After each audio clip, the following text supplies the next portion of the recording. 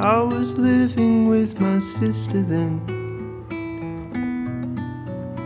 in the old place. She had a bevy of unfaithful men They'd never look you in the face. She and I were lucky then.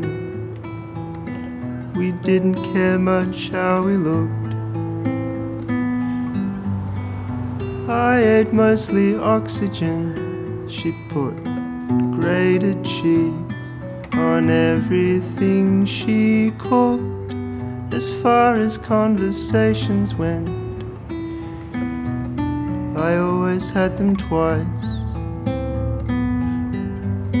I'd reconstruct them lying in bed. I was funnier then, I gave capable advice. My sister in a miniskirt taught me everything I knew. What prevents you from doing your work has become your work. You are only what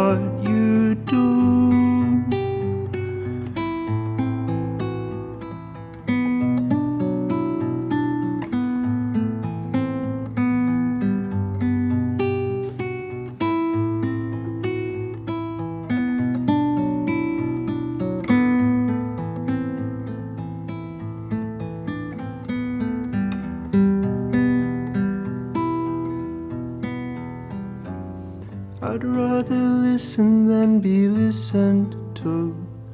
Rather overhear than be heard. I'd rather sacrifice the messiest truths for a simple lie. Rather take her on her word. When what changed us changed us, we